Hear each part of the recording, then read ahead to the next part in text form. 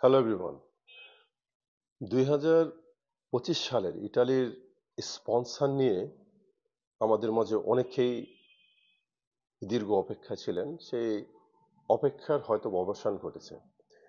Gadget এসেছে দুই হাজার চব্বিশ সালের পহেলা নভেম্বর থেকে তিরিশে নভেম্বরের মাঝে যেসব অ্যাপ্লিক্যান্ট বা যেসব ভাইয়েরা যেতে ইচ্ছুক তাদের দরখাস্ত সম্পন্ন করতে হবে। আর মাঝে যে দুই মাস থাকে, ডিসেম্বর ও জানুয়ারি, এই দুই মাস সেই কাগজগুলো যাচাই বাছাই হবে। এটা যাচাই বাছাই হওয়ার কারণটা হচ্ছেই দুই হাজার বাইশ, তেইশ, চব্বিশ সালের অনেক স্পন্সর জমা হয়েছে, যে মালিকগুলো স্পন্সর করার যোগ্যতা রাখে না। তারপরও তাদের স্পন্সর বা নুল্লাহস্তা বের এসেছে। কিন্তু নুল্লাহস্তা বের হওয়ার পরেও বাংলাদেশ, ইটালি অ্যাম্বাসিতে জমা দেওয়ার পর যখন অ্যাম্বাসি থেকে যখন কন্ট্রোল করা হয়, তখন দেখে যে মালিকের তেমন কোনো কাজের ভ্যাকান্সি নেই। তাই সেগুলো ব্লক করে দিয়েছে। এবার যেন সেটা না ঘটে, তাই তারা এক মাসের সময় দিয়েছে ফর্ম ফিল আপ করা এবং বাকি দুইটা মাস সেই মালিকদের সম্পূর্ণ কাগজপত্র তারা কন্ট্রোল করবে। আসলে সেই মালিক সে যোগ্যতা রাখে কিনা একজন লোক লোক নিয়ে যাওয়ার। ফেব্রুয়ারি মাসের পাঁচ, সাত এবং বারো তারিখে ক্লিক দেওয়া আছে।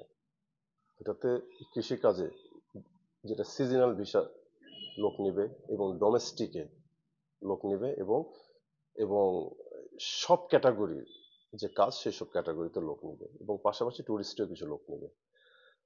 এখন কথা হচ্ছে যে আপনারা যারাই জমা করবেন অবশ্যই সেটা যেন মানে ইটালিয়ান যে ইটালিয়ানের দ্বারা কাজ করবে, তারপরে যে বাঙালি কাজ করবে, তার দ্বারা কাজ করার চেষ্টা করবেন।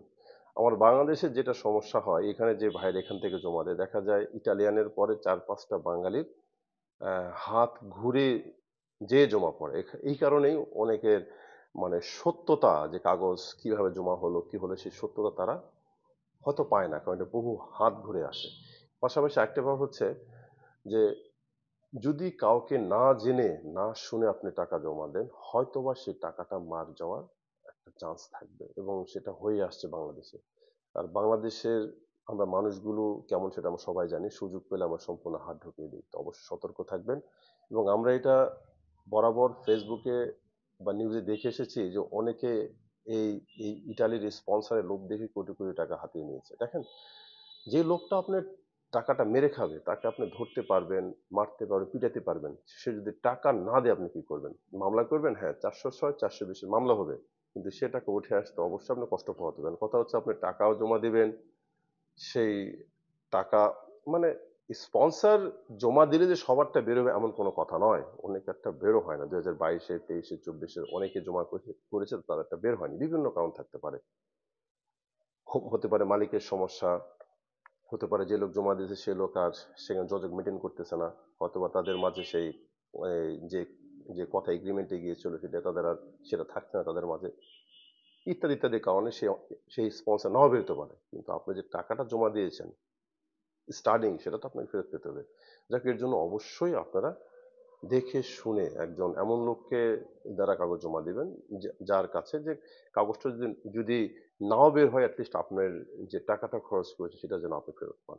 তো যাই হোক, দোয়া করি যে আপনারা সকলেই সুন্দরভাবে, সুষ্ঠুভাবে ভালো মানুষ, ভালো মালিক, ভালো স্পন্সার ভালো স্পন্সার দিকে আপনারা জমা দেন। সকলে ভালো থাকবেন। সালাম আলাইকুম রহমতুল্লাহ।